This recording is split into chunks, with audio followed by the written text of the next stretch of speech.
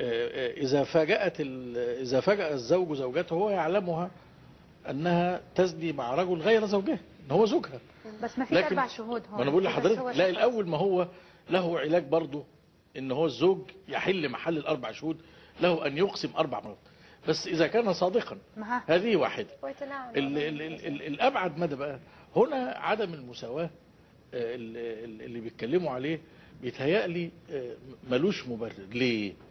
لأن ال- لازم علشان الراجل ده يتعافى وتهبط العقوبة من القتل إلى جنحة لازم تكون ساعة ارتكاب الجريمة.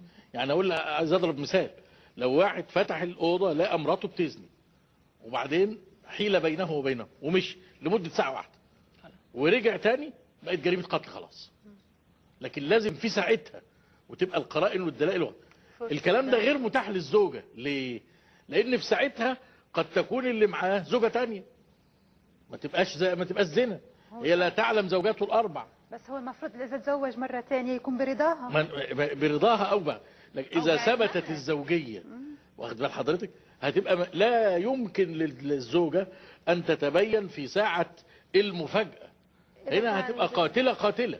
طب آه، حضرتك ما هي طالما إنها قتلت اذا هي لا تعلم إنه متزوج من ما هو أخرى مش والقانون في مصر آه. يحتم على. المأذون أنه يعلم الزوجة الأولى في- حالة. انه لحضرتك. شخص متزوج. قضية إثبات الإعلام من عدمه ووصول الإخطار ده كلام لسه لم ينضبط بمعنى إن ممكن الزوج يتزوج والمأذون يبعت ويقول له العنوان جه غلط لم يصلها لا تعلم